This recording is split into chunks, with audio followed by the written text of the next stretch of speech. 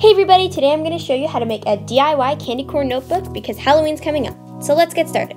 Today you're going to be needing a notebook, three different colors of foam in orange, yellow, and white, a black sheet of construction paper to color your notebook, and also some Mod Podge or glue. You also need some paintbrushes to apply your Mod Podge or glue, and also some scissors. So to begin, we're going to need to attach the black piece of paper to the notebook cover. So I'm just going to go ahead and use Mod Podge to cover the whole thing.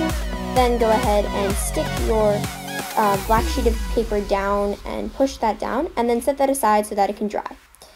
Then, in the meantime, I'm going to draw a half of a candy corn on some orange foam. I'm going to fold that in half and cut out and draw my dividing sectors and then cut out the entire thing and cut it into sectors. So I have my middle, my top, and my bottom. I'm going to go ahead and trace my top onto the white foam, my middle onto the yellow foam, and my bottom I should already have on my orange foam, and cut those all out.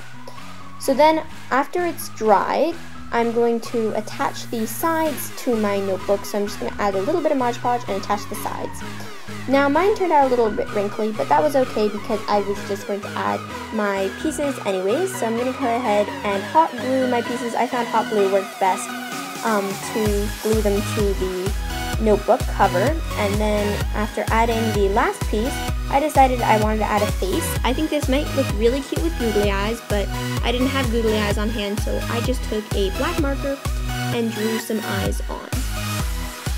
So thank you so much for watching. If you like this video, don't forget to subscribe for more awesome content like this, and we'll see you in our next video. Bye!